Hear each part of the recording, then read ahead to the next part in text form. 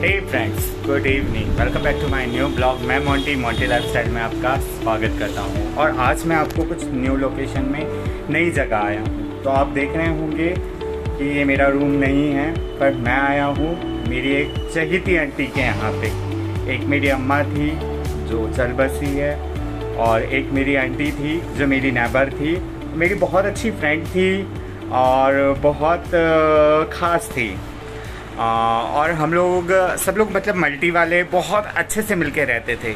मैं इसी मकान में आज से डेढ़ साल पहले रहता था। है ना आंटी? ऊपर। तो मैं ऊपर में रहता था और हम लोग अच्छे नेबर थे। यहाँ पे थे पाँच ब्लॉक का मकान, जो जिसमें एक मैं अम्मा रहती थी। और ये है मेरी आंटी लक्ष्मी आंटी। तो चलो मैं आपको लक्ष्मी आंटी से मिलवाता हूँ। है फ्रेंड्स तो ये रही हमारी लक्ष्मी आंटी। लक्ष्मी आंटी आए करो। हाय तो ये है हमारी लक्ष्मी आंटी जब मैं नेबर था मतलब इनका नेबर था मैं पहले एक साल पहले यहाँ रहा करता था। तो आंटी अपन कितने अच्छे से मिलकर रहा करते थे ना? कभी महसूस ही नहीं होता था कि मैं अकेला रह रहा हूँ। और ये आंटी और क्या कहना चाहिए चौहान आंटी अम्मा और एक चंदा आंटी, ऐसे करके सारी फैमिली सिर्फ़ मैं ही एक अलोन रहा करता था, बाकी सारी फैमिली और इन फैमिली में मैं इतना घुल मिल कर था, इतनी अच्छी पोजीशन बनाई थी मैंने कि हर एक मेरा नाम मोंटी मोंटी मोंटी यहाँ पे बहुत मिलजुल कर रहते थे और इन पाँचों फैमिली ने मुझे कभी भी अकेला महसूस नहीं होने दिया। इन्हीं दो रूम में हमारी ज़िंदगी होती थी, है ना आंटी? हाँ। पर दो रूम में ऐसा लगता था जैसे अपनापन। अभी तो खैर मैं अलग हो गया हूँ, वहाँ पे तो ना कोई किसी से बातचीत करता है ना कुछ।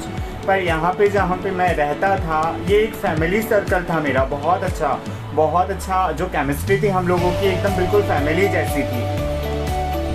तो उन्होंने बेहतर समझा कि किसी पास किसी और के पास जाने से अच्छा है, टीवी देखो, घर में भागवत देखो, भागवत देखने के बाद उन्होंने उसको ज़िंदगी में अपनाया। जो कहते हैं ना लोग सिर्फ़ देखने का काम करते हैं लेकिन उन्होंने अपनाया उस बात को।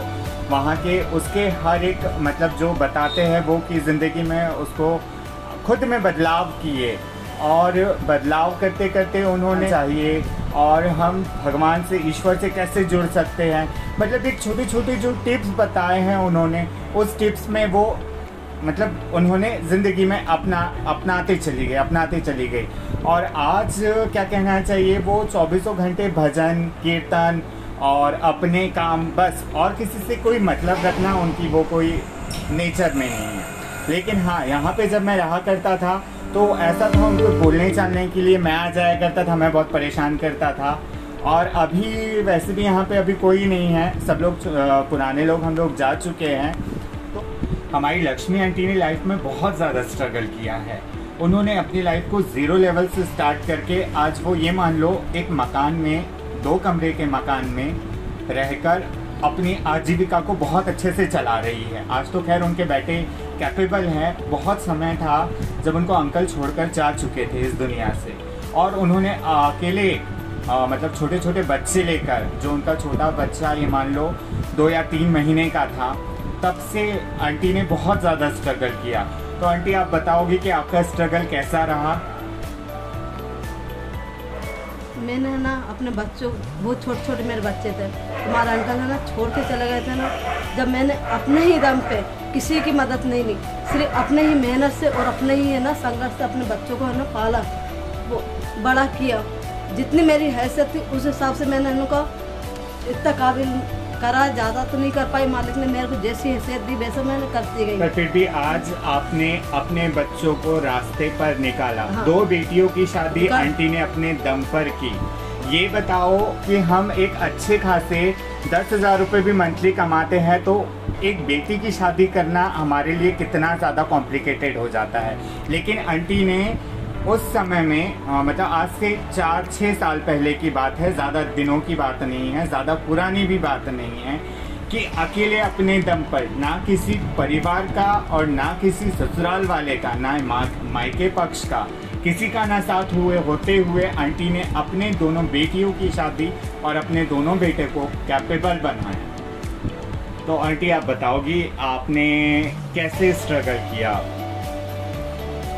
मेरा काम है क्या खा, खाना बनाने का। मैं खाना, शादियों में खाना बनाती हूँ। कभी आर्डर आ जाते हैं तो मैं घर पे टिफ़िन भी बना देती हूँ। मुझे जो काम मिलता है वो काम मैं करती रहती हूँ। मैं ना ये सोचती हूँ, मैं फ्री में बैठना चाहती।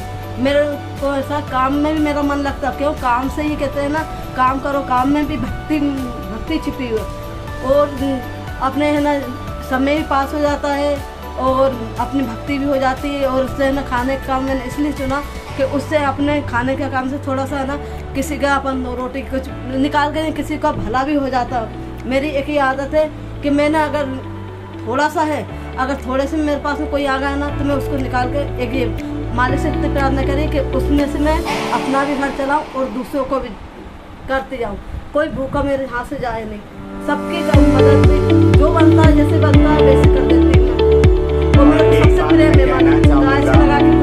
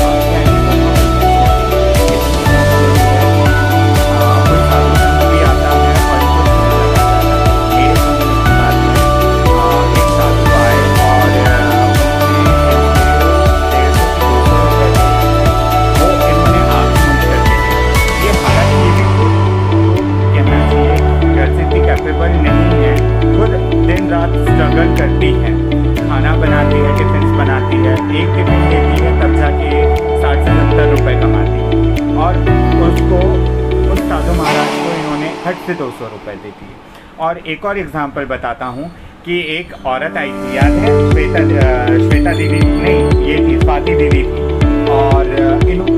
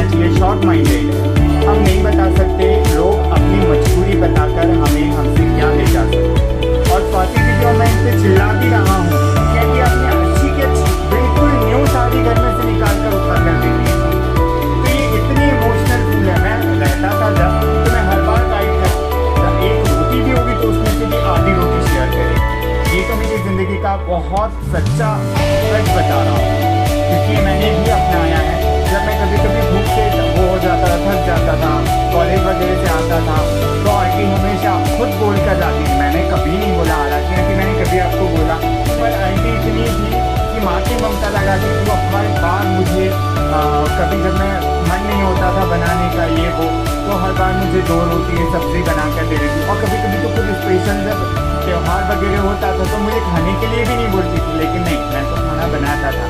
तो उनकी ममता थी कि वो हर बार मुझे थाली परोस कर ला कर देती थी। मतलब इतने अच्छे से रहे हम लोग यहाँ पे तीन साल कि मैं आपको क्या बताऊँ। कभी लगा ही नहीं कि हम लोग पराए हैं। और वो एक एक्चुअली मैं भी एक क्या कहने घर आता था। हाँ हम लोग कुछ देर बात वगैरह करते थे, फिर ही मैं ऊपर जाता था, क्योंकि थके आ रहे ऊपर चढ़ना बहुत ज़्यादा प्रॉब्लम हुआ करती थी। तो यहाँ की जो लाइफ रही मेरी बहुत अच्छी, बहुत स्पेशल और बहुत ज़्यादा मेमोरेबल रही। यहाँ की जो मेमोरीज़ हैं, मैं लाइफ में कभी ख़त्म नहीं कर सकता, क्योंकि यहाँ पे जो मैंने इस रूम में और इस मल्टी में जो मैंने समय बिताया, वो मेरे लिए बहुत ज़्यादा गोल्ड मेमोरी से कम नहीं रहा। और आंटी एक ऐसी थी हालाँकि मेरी पाँचों लोगों से बनती थी पाँचों फैमिली से बनती थी आ, और पर आंटी से ज़्यादा बनती थी क्योंकि एक आंटी थी और क्या कहना चाहिए आ, वो खाना बनाते रहती थी मैं उनके हमेशा ये थोड़ी सी फनी आंटी है इसलिए थोड़ी सी ज़्यादा मस्ती मज़ाक होती रहती थी हमें। मैं आंटी को ज़्यादा छेड़ा करता था वो क्योंकि उनका किचन वगैरह सामने ही है और मेरा आना भी सामने ही है वो गेट से वो जस्ट दिखी जाती थी। तो मैं आते जाते उनको बहुत परेशान करता था। और यही चीज़ थी हमारी कि एक परिवार का कभी भी कमी महसूस और क्या कहना चाहिए परायापन कभी भी फील नहीं हुआ। आंटी और हमारा लड़ाई भी बहुत होती थी, ठीक है ना? सब लोग पानी पे से हमारी लड़ाई भी होती थी। दो बार हमारी अच्छी लड़ाई भी, लेकिन इतना अच्छा था हम लोगों में कि हमने मैल नहीं था। आंटी बहुत साफ़ दिल की है। कभी भी बोल देती थी उठ पता भी कभी बुरा नहीं माना। कि लड़की ये है, उसने ऐसा बोल दिया तो हम अब उनसे बात नहीं करेंगे नहीं बहुत अच्छी जर्नी रही यहाँ की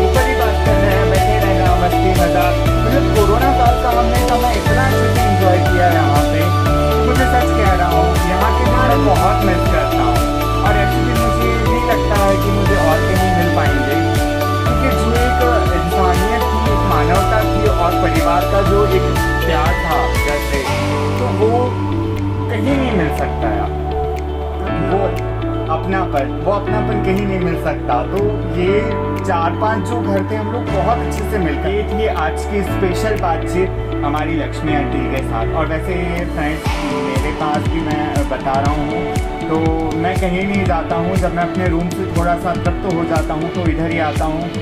कुछ समय निकाल कर कि एक दो वहाँ पे कोई किसी से बात नहीं करता है तो वहाँ पर मैं भी किसी से बात नहीं करता हूँ। और बस आता हूँ तो इधर ही आता हूँ। क्योंकि अपना घर अपना परिवार समझ के मैं आता हूँ है ना आंटी? ये अपना अपना अपनापन लगता है यहाँ पर। हाँ अपनापन लगता है कोई मेरा मेरा घर तो ऐसा है कि हर इंसान आता ना तो बोलता है कि हाँ यानी कि यहाँ सुकून मैं मुझे चाहने वाले तो उतने सब लोग हैं। बस कुछ जलने वाले भी ऐसे हैं कि वो उल्टा मुझ पर भारी पड़ और यहाँ पे सब लोग लक्ष्मी आंटी की बहुत तारीफें करते हैं और बहुत प्यार करते हैं। क्यों? क्योंकि ये ना बहुत निश्चय क्या कहना चाहिए? निष्कपट। कोई भी किसी भी प्रकार का छल नहीं रखती। यहाँ के बच्ची बच्ची भी लक्ष्मी आंटी लक्ष्मी आंटी। सारे मोहल्ले में हमारी लक्ष्मी स्टार्ट किया। तो फ्रेंड्स आज का वीडियो यहीं तक था। वीडियो अच्छा लगा हो तो लाइक शेयर और सब्सक्राइब ज़रूर कीजिए। एक ज़ीरो लेवल से यहाँ तक का सफ़र आंटी ने यूँ ही नहीं किया। बहुत संघर्ष उठाने पड़े, बहुत कठिन दिन उठाने पड़े और बहुत ज़्यादा उन्होंने लाइफ में, क्या कहना चाहिए कटौती की है हर चीज़ को लेकर। तो यही थी हमारी लक्ष्मी आंटी की कहानी, और आगे मिलते रहेंगे वीडियो में। तो चलो, मिलते हैं नए वीडियो में, नए सफ़र के साथ। आज का सफ़र यहीं तक था। तो बाय बाय